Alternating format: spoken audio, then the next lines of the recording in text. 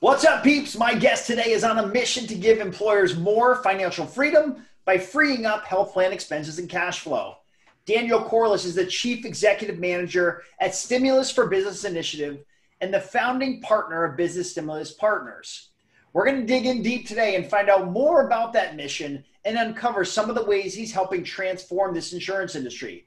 Daniel, thanks so much for being on, man. Frankie, baby, love to be here, man. Thanks for having me. All right. So a uh, little backdrop for the audience. Uh, I've been, we're part of the, uh, a group, the healthcare hackers. Uh, I see you, you, you, you, chime in there a lot. One of the things, that, one of the comments that I really loved, you meant, you, you said something along the lines of that, you know, you keep it real. You know, you're going to say what's on your mind and, and, and you encourage, um, I think overall you you you encourage some friendly banter, but I think if something's on your mind or you don't disagree with something, uh, you don't agree with something, you're going to, you know, voice your opinion. Uh, so I think that that was one of the things I saw not too long ago. I was like, yeah, I, I like this guy. And then we did, we met in San Diego um, at a, a conference. So, um, so glad to have you on. Before we get into uh, any of the, you know, Q and A, which I'm excited for, why don't you just give the audience a little bit of a, a backdrop, a, a, day in the life of Daniel, who you are and what makes you tick? Yeah, absolutely, man. Um, a day in the life. Geez.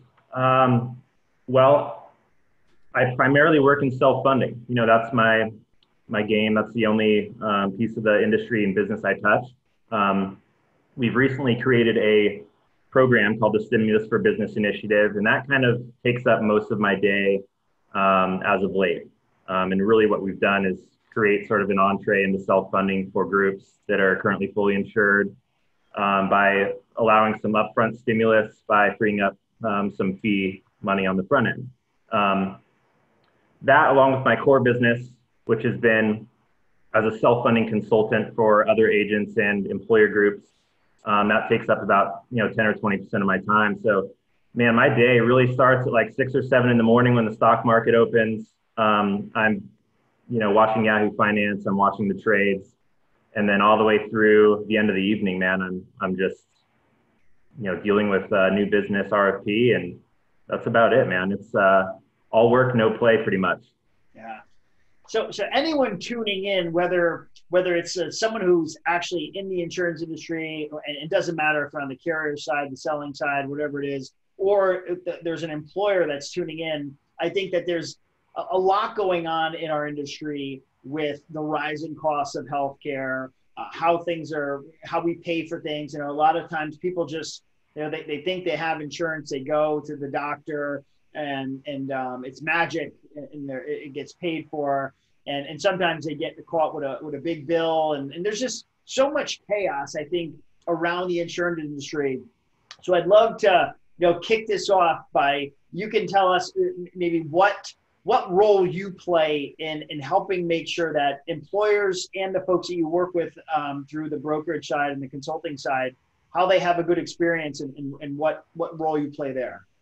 Yeah man that's a big ball of wax. I mean we could talk all day about that but um you know basically you're right you know so somebody thinks they have health insurance you know they have that little card in their wallet and you know they go and, and seek out care uh, at a facility or provider's office and um, they don't really know necessarily who's paying for that, who's footing that bill. I mean, they might have a copay and some co-insurance, um, which I call, um, you know, anti-healthcare. Basically, it prohibits some people from actually even going and getting preventative care or care that they need. It's a whole other story. But um, really, the, the employer is typically footing most of that bill for your health insurance, um, and that goes back and affects you know your your paycheck and the the growth of that company which also inhibits your own growth as an employee. So really getting the consumer the the member of that health plan to take a look at it from more of like a macroeconomics standpoint and realize that they're really a part of this bigger system and they need to take some more responsibility in being a, a better consumer of healthcare that's really kind of the big picture story um, and the picture that I'm trying to paint for employers, other brokers, and their plan members. Um, because it really has to start at the community level and at the member level um, to really start controlling these costs. I mean, we can work all day long as advisors and brokers to mitigate those costs and try to steer members to certain places of service that are going to benefit the, the employer in the best way possible and, and do some other things. But really, it's going to come down to that decision and the paradigm that the member has and, and the choices that they're making on a daily or weekly basis for their healthcare. So when you think about because you know, and I'm glad that you you actually address it. I know it was a kind of big loaded question there, um, but one of the things that people think about is you know, when they when they even for my own company, and we're not you know this massive company, but even for our own team, you know, we get handed down a renewal. You know, we, we look at other plan options. We make sure that we're doing the best by our employees, and the employees typically will say like, oh, the, the rates are higher. We got to pay more, you know, and they're blame every, the, it, the blame goes up, you know, all the way up to, you know, let's blame Donald Trump. You know, it's, it's his fault. So I like how you, you know, brought it back down to the, the, the member level and, and bringing it down there. So, so what are, yeah, I, and of course, it's these are things that you can talk about all day. I get it, but what are things that members could be doing um, to have a better healthcare experience for, for themselves? Well, I mean, to your point, it really is a systemic issue, and it's not just up to the members. Um, I'm going to go back to what you said earlier um, uh, in that um, that run up. There is that it really does go up the chain, and I'm just going to call it out in in traditional Daniel fashion. There there are status quo brokers out there that are providing options that aren't the best options for the employer or for the membership of, of that plan. Um, and I don't think that's necessarily intentional, although in a lot of those fully insured markets, there are some uh, obscene and perverted kickbacks that that some of these brokers are taking that they're getting paid on the back end of some of these health plans um, pretty exorbitant uh, amounts of money. Um, with that being said, there are a lot of brokers out there that just don't understand uh, or have been educated on some of these other options that exist. And that's on us as educators and um, communicators of, of new trends in the industry to really get that message out. And you're right, like I do make a lot of noise in those forums. I do call people out, I call things the way I see them. And uh, I'm gonna I'm gonna continue to do that, and we have to. I mean, this isn't our mom and dad's insurance industry anymore. You know, we are next in line. It's up to us to really be the change agents of what's happening, and and that's going to trickle back down to the members. And that same education and communication that we give to other brokers and that we provide for our industry and all of the innovation and changes that we're making that also has to be communicated down to the members so that they can make those better choices on a daily basis.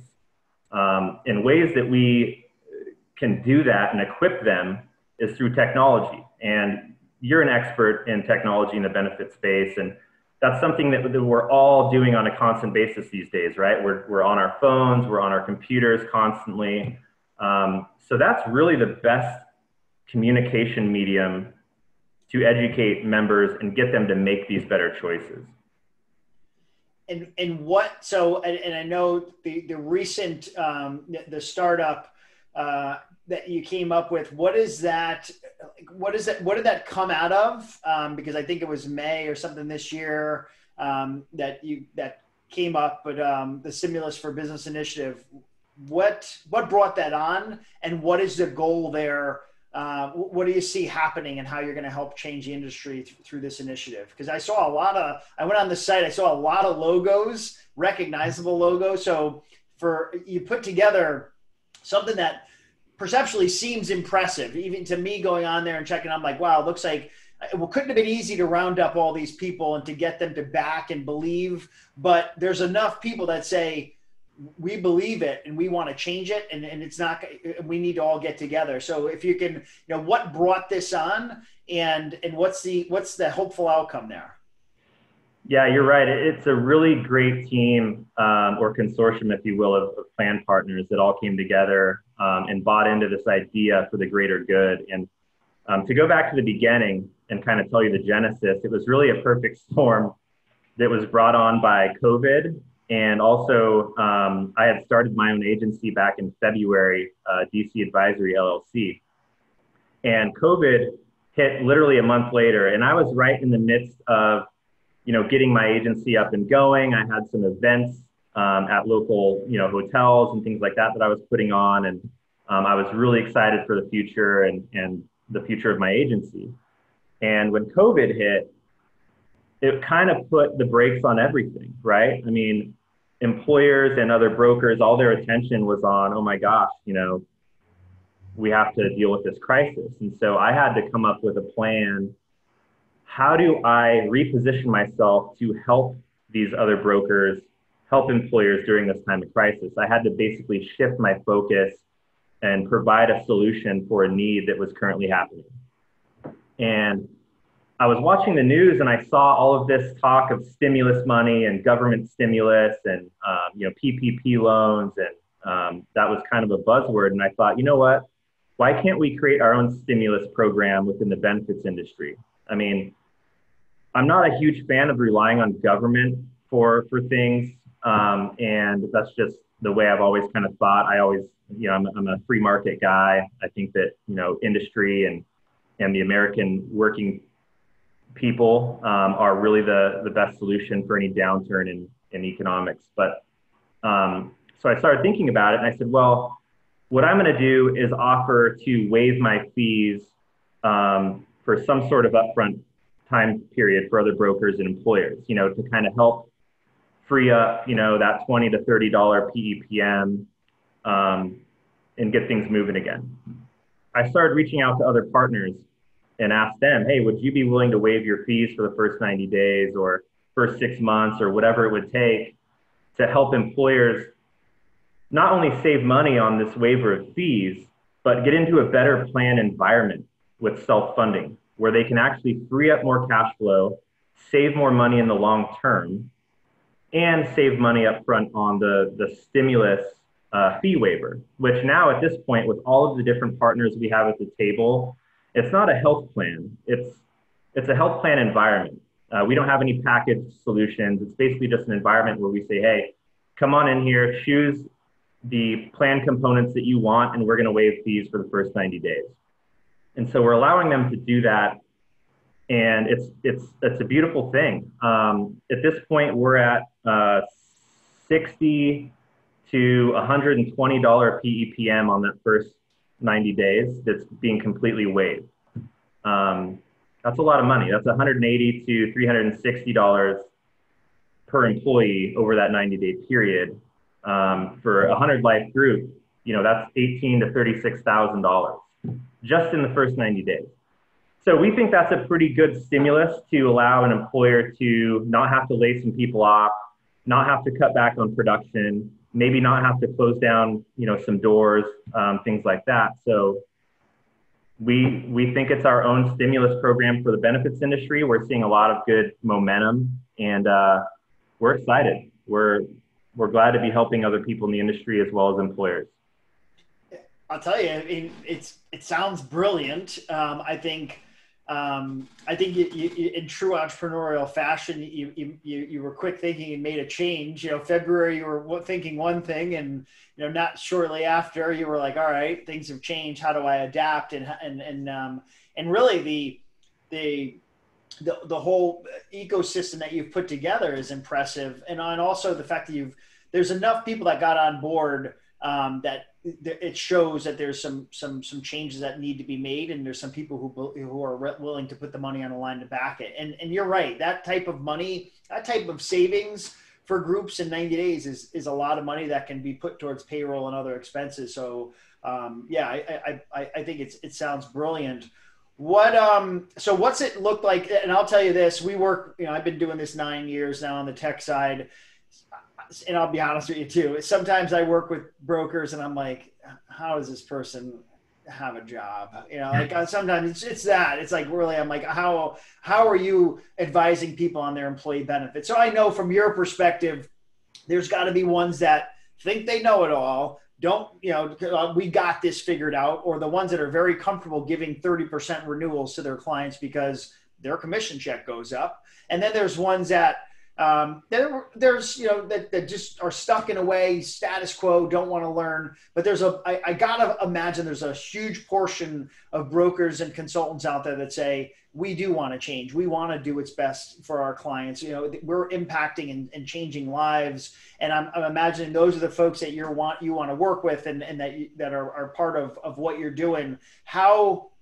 how attractive has this been if we look at the nation um, and, and, the folks that you're working with, I have to imagine that this has been picking up pretty quickly uh, because it seems like why wouldn't you want to do this or want to be involved in this?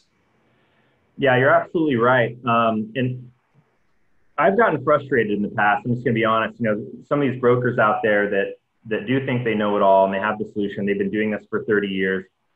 Hey, you know what? They have a ton of knowledge. They have a vast wealth of knowledge about a market that I know nothing about, and that's the fully insured market. Well, I know enough about it to know that I don't want to be in that market. Um, but they're so rigid to change. And I found I found myself getting really frustrated pretty often with some of these brokers and um, trying to work with them, get, getting them to see the light and come to the Jedi side from from the dark side, right? And this is perfect because this is a, an olive branch where we're saying, hey, not only are we providing a better environment for you and your your clients, because I'm sure they're looking for solutions right now. Um, just about every broker agency out there probably has 30% of their their client base in that 50 to 150 or 200 employee range that are really struggling. They're looking for any solution they can to free up cash flow and, and uh, reduce costs. And that broker, that smaller agency might not have the skills or the staff or the education around self funding to really confidently take a group to self funding, which is a good thing. You don't want to take a group self funded if you don't know how to do it. Um, you don't have someone to help you. So we're, we've also provided um, that education and that help for other brokers. So not only are we saying, hey, come on into this this program with your client, but we'll also show you how to successfully manage a self-funded health plan over the period of one, two, three years. Um, so it really is sort of raising the tide to lift all boats in the benefits industry, not just for employers, but also for other brokers and other agencies. Um, and yeah, I mean, a shift needed to happen. And one of my favorite books, it's called Extreme Leadership, and it's uh, by Jocko Willink and Leif Babin, who are both ex-Navy SEALs, and they basically translate um, their Navy SEAL training and uh, their their operational background as um, operations specialists to to business. And they talk about how if you're not adapting, you're not surviving, both you know in the sandbox and also in in business. And so it's very important for us as an industry to start adapting, um, start looking at solutions to help be the genesis of change going forward, not just during this pandemic, but going forward forever. Let me ask you this. So, what you've said so far should have everyone's attention who's tuning in, um, and you definitely got mine. Someone's tuning in right now, whether they're they're an employer, and so uh, we'll we'll get kind of maybe to talk about that. But they're an employer that's tuning in right now, or they're they're a broker that fits in that mold that you just described. That hey, yeah, you're right. You know, I, I, I'm not comfortable in this area, but I can use the help and the instruction and know that we can put in this program, this longer term, one, two, three year see some changes with some clients, get some education, make some impacts. Do you so two part because I want to make sure that the um, we don't have anyone hit you up who might not be a right fit, but um, if if an employer is listening in and they're like, you know what, I'm tired of this. Our broker is a, the spreadsheeter that comes in every year and says, here's what your options are, here's what your renewals are, take it or leave it, um, and they're tired of dealing with it. Do you have a network of brokers that that can help those employers and then for the brokers that are tuning in um, and then I guess maybe for both. But is there what what segments do you work with? Like who's the ideal person to fit in what you're working with, um, where you can see those changes, and and what are the steps to getting started? So um, you know a, lot in there, but but what what are we doing if if if uh, if this is attractive and, and people are tuning in they want to make some some changes? Yeah, great question. Um, well, an employer can have it both ways they can say, hey, we have a great relationship with our broker. Uh, we want to keep this broker, but we want to come into this program. We can we can facilitate that.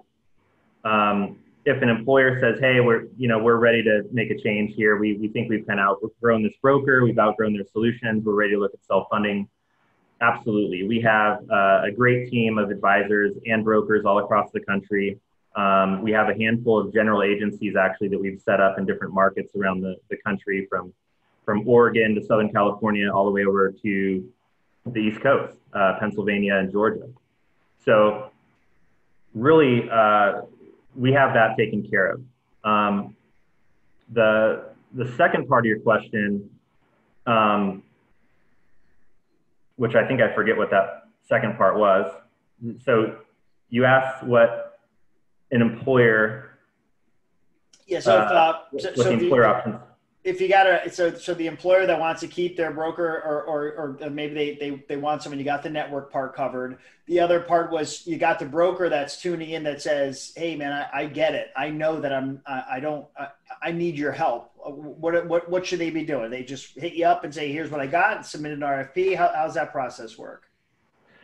Yeah um, sorry i thought i was on a roll there and it just completely went blank. Um, need more coffee i think. So yeah um, so a broker uh, can definitely come in. Basically, what we'll do is we'll say, hey, here's the consortium, here's the syndicate, if you will, of all these plan partners and all the solutions we can provide. The, the actual plan design and benefit design is still up to the broker. We will give them suggestions uh, on, you know, whether it be like, hey, we think you should level fund this group, or you, we think you should use a traditional network for this group, or RBP, or you know, this type of cost containment. Um, but really, it's not up to us. I mean, we're just there to kind of facilitate and help guide other brokers. So we're not, for one, we're not taking away their business. They get to keep their relationship with their client. Um, and they also get help when they need it and how they need it. So they can ask us to be as hands on or as hands off as they want us to be. You know, we can be you know, working with them on a day-to-day basis through, um, you know, open enrollment, through implementation, all the way through the end of the first plan year, or we can sort of just step back and say, okay, it looks like you got this. You have some background in self-funding. You have an agency with, um, you know, subject matter experts that can help you with this, and you have, you know, account managers and and a team of staff that can really help assist you. But we'll be here in the background if you ever need us.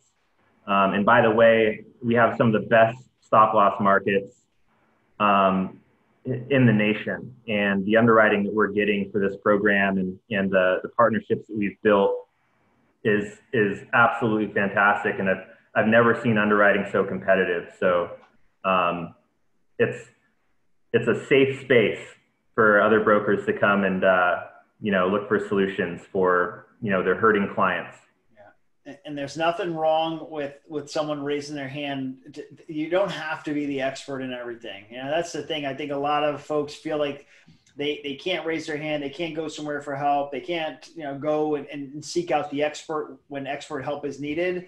So uh, so it's good that you got that safe space for those brokers to say listen we got your back. You know we're not trying to compete with you. We want to make things right and and you we can hold your hand all the way through it or we can hold your hand as needed. So love the that whole piece there, I think, is is very attractive to those brokers who, who do want to see some changes because I got to believe that there's a lot of them out there.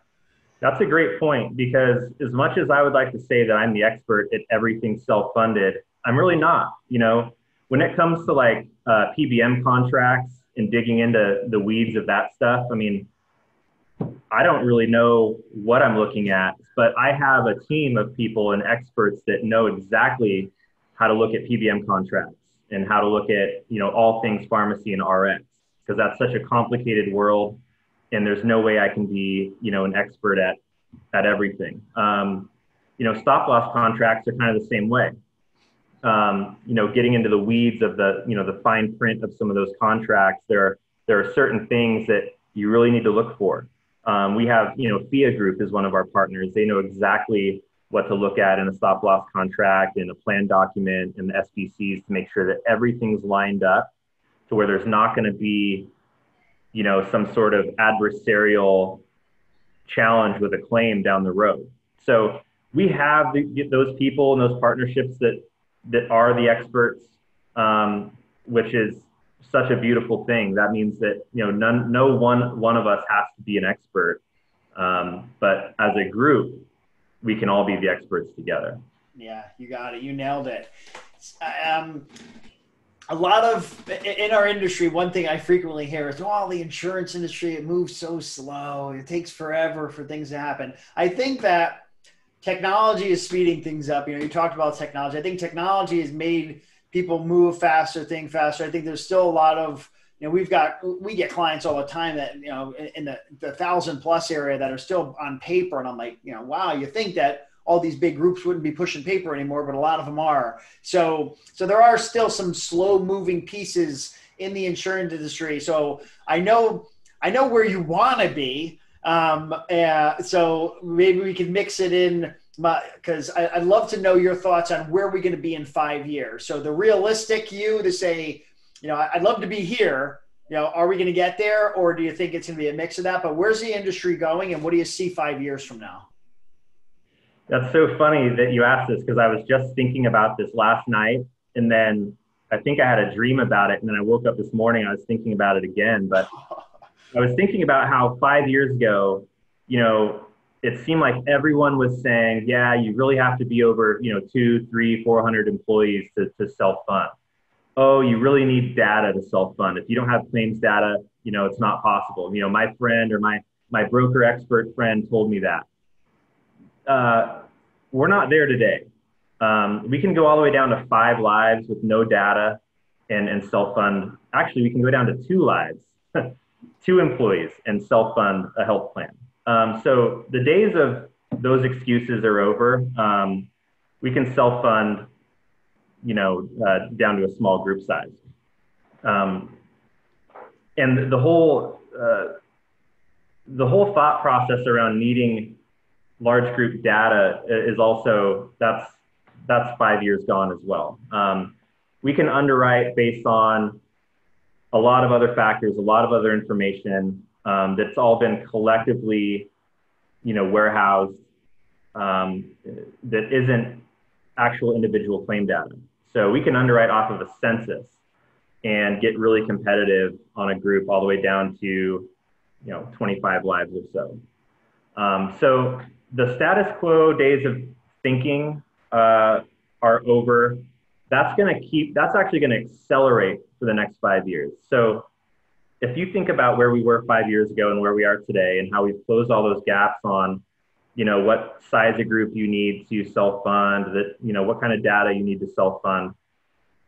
I think in the next five years, 10 years, fully insured markets will only be for small group under 50 um, that don't have any way to like community rate experience or um, really there's there's no way to uh, for that group to have the cash flow right to support self-funding a plan or they're just still kind of in that goldilocks phase of of their uh, employment. You know they're a boutique startup you know 15 to 50, uh, 50 lives and sort of still struggling with their overhead.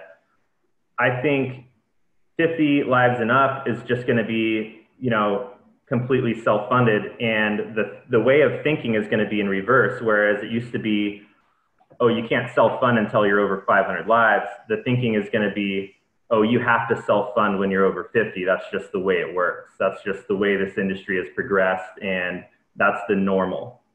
Um, that's where we're headed. So we're going to completely flip that on its top.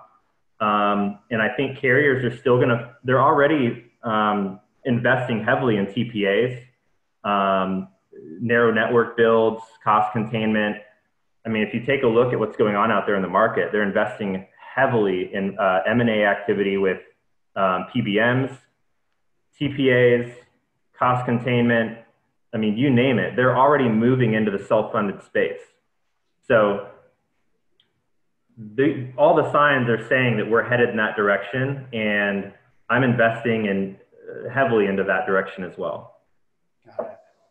Good. Well, uh, change needs to happen. I think folks like you that are leading the charge and, and gathering people and you have the support, I think those are the ones that are really gonna gonna see these changes. And and of course we, we hope everyone it, it, it's gonna take everyone and, and, all of us doing their part. So appreciate what you're doing. Where where are folks going if they want to find you? They want to learn more about you they, whether they're an employer or a broker and they want to learn more about what you're doing your initiatives. Where, where are we sending them so we have a website uh, www.stimulus the number four business.com um, you can also shoot us an email at support at stimulus4business.com.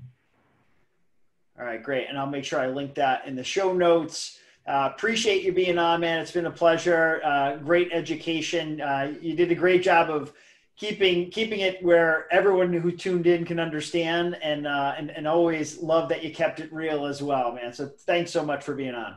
Dude, it's been great. Thanks for having me. It was uh, nice reconnecting with you as well, man.